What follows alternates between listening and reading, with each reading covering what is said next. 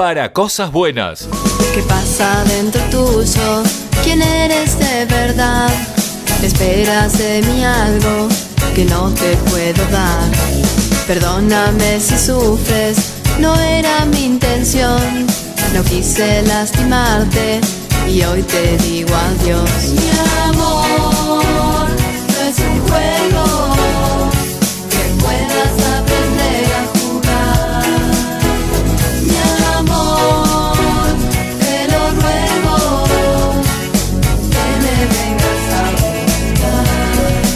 Y seguimos acá en esto que es para cosas buenas y voy a presentar a mi primera invitada de la tarde.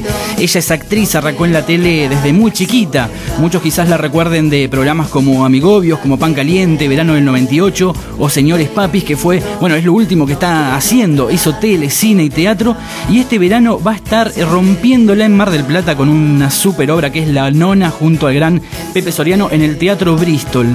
Sabrina Carballo, muy buenas tardes. Federico Díaz te saluda. Hola Fede, buenas tardes, buenas tardes a todos. ¿Cómo estás, Sabri? ¿Cómo estás pasando este sábado? Muy bien, vine a Mar del Plata este, como para anticiparme a lo que se viene, que creo que va a estar buenísimo si Dios quiere, así que feliz y aprovechando el fin de semana largo, está lindo en Mar del Plata y creo que también en Capital, así que todos Ah. debemos estar disfrutando este fin de semana. La verdad que te envidio un poquito. Estar en Mar del Plata con bueno, una pero qué temperatura... más lindo hacer lo que a uno le gusta. No, eso está ni hablar, ni hablar de eso. Pero bueno, justo da fin de semana largo, muy linda temperatura. ¿Hay mucha gente en Mar del Plata? Hay mucha gente, mucha gente venía en la ruta. Yo vine, llegué hoy a la madrugada y había mucha gente viniendo para la costa. Qué bueno Este, eso. Así que para los que tuvieron afortunados y tuvieron la posibilidad de escaparse un poquito de, del ruido de capital, eh, ojalá que la pasen muy bien. Tal cual. ¿Sos de levantarte temprano por lo general o, o más bien un poquito más tarde? La verdad que no, soy bastante noctámbula. Igual creo que la mayoría de los actores somos Sí. noctámbulos. eh. Yo me causa gracia porque a veces me quedo en, en, en internet eh, y digo, ay, yo no me doy cuenta, mis amigas que trabajan, que tienen trabajos normales, me dicen, vos estás mandando un mensaje, pero aparte que soy anti-tecnología, entonces tardo en entender todo lo que es la tecnología y cuando me pongo me dicen, ¿me mandaste un mail a las 4 de la mañana? Suele pasar. me levantaba y veo que muchos actores veo que eh, tuitearon, entonces escribieron algo la- hace una hora, hace media hora. Sí, o sea sí, tal que cual. Que recién Normalmente me acuesto tarde y, y trato de levantarme temprano, pero la verdad es que la mañana me cuesta un poco. cuesta un poco. Sabri, recién cuando te presentaba decía que arrancaste desde, desde muy chiquita en la tele. ¿Cómo, cómo Sí. fue ese arranque? Eh, ya ni me acuerdo. ¿Fue casualidad? ¿Fue Creo porque que lo- fue en blanco y negro. eh, fue, sí, eh, eh, sí, de caso. Va, no, en realidad me gustaba y eh, mi familia no tiene nada que ver con este medio. eh, entonces me gustaba y empecé como modelo. Yo quería hacer algo, quería bailar, actuar, desfilar. eh, era como el payasito de la familia. Y una tía, la hermana de mi mamá, vio en el diario, me acuerdo que es muy gracioso porque todo este, cuando yo empecé todo este todo este texto lo decía con cada vez que me hacía una nota contaba lo mismo y esto hace un montón que no lo hace un montón que no me preguntan cómo empezaste bueno y empecé como modelo y en uno de los desfiles había un representante que me dijo si quería hacer un casting para una publicidad hice esa publicidad y ahí empecé yo no sabía que era un representante a dónde había que ir yo mi, mi tía Claro, igual que- en el diario ¿Qué tenías? ¿Cinco años? ¿Seis años? Cuando empecé, eh, creo que ocho tenía. Ocho, bueno. El primer protagónico fue a los 12. Claro, muy chiquita.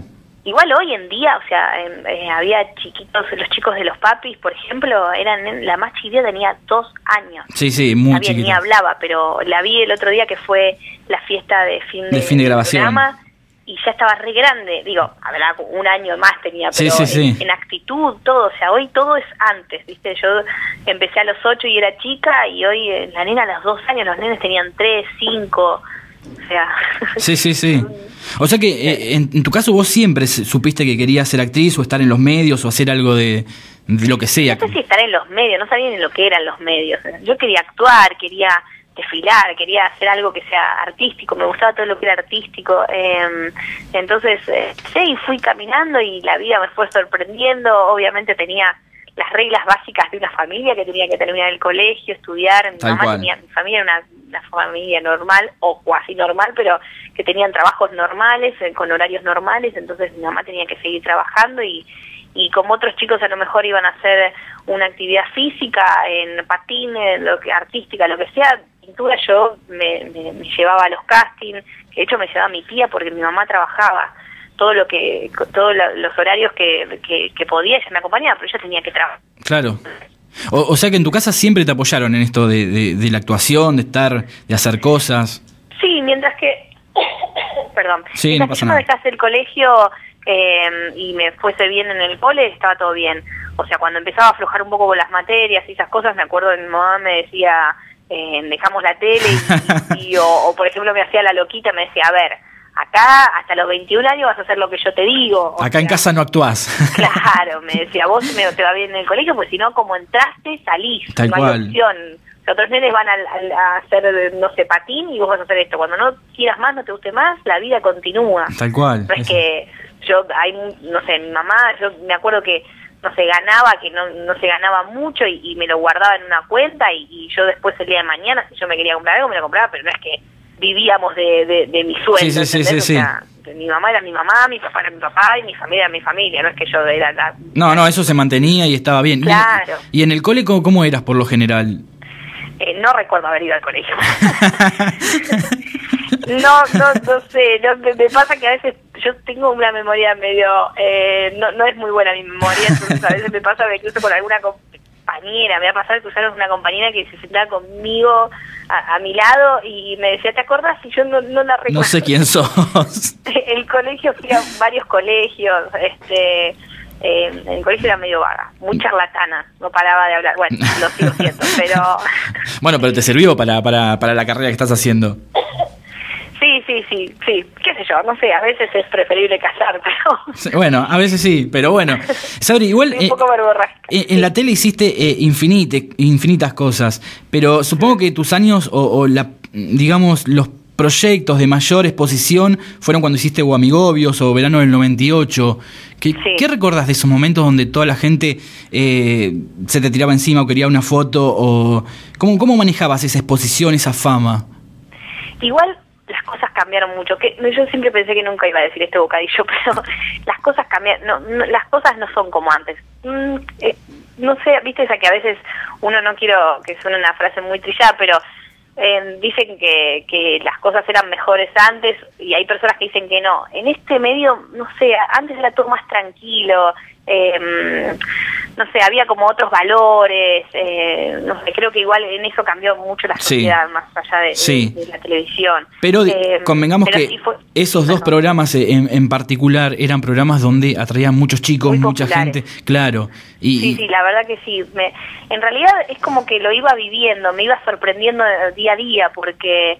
Eh, no sé, yo no entendía nada. Yo iba al colegio y, y a lo mejor eh, me pedían auto, me empezaron a pedir autógrafos y de golpe una foto y de golpe eh, fue como es como que transcurría iba iba sucediendo todo me iba sucediendo iba al colegio y a la vez trabajaba entonces lo que sí a lo mejor tenía menos obviamente no tenía tiempo para para nada porque ahora cambió pero nosotros antes grabábamos de lunes a sábado se grababa todo el día a las 12 de la noche que ahora eso gracias a Dios ahora hay no se puede no se puede era como todo diferente, ¿entendés? Eh, los chicos no se maquillan, nosotros no nos maquillábamos, claro. por ejemplo. Yo me acuerdo que cuando yo estaba en Amigobios, eh, nosotros éramos, veníamos del colegio, nos peinábamos y no teníamos ni, ni peluquero, ¿entendés? Nos peinábamos nosotros y grabábamos. Y a grabar. Después al otro año creo que empezó justo chiquititas. Sí y los chicos estaban espléndidos y nosotros no.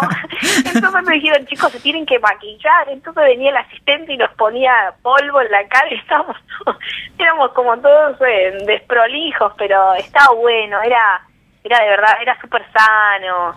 Eh, pero sí, fue bastante como... Eh, había tenía mucha exposición, o sea, tal cual. era la que llamaba la atención, a lo mejor en algún lugar, pero estuvo bueno. crecí con eso, crecí a, la par. Tal, tal, cual. ¿Y hoy la gente cuando te para por la calle así, te recuerda algún programa en particular que hiciste o, o te para por, por todo? Ahora que estoy un poco más grande, un poco, un poco tanto, pero es muy loco porque cuando yo era más pequeña veía a los actores grandes y decía, wow, y los escuchaba decir algunos bocadillos que yo decía, qué locos, son grandes. Y ahora me pasa que veo chicos como las chicas ahora que tienen 19 o 20, están son como bastante exuberantes. Sí. Yo a lo mejor, le, no sé, me preguntan de algún programa y yo ya me doy cuenta, según del programa de que me hablan, qué edad tienen.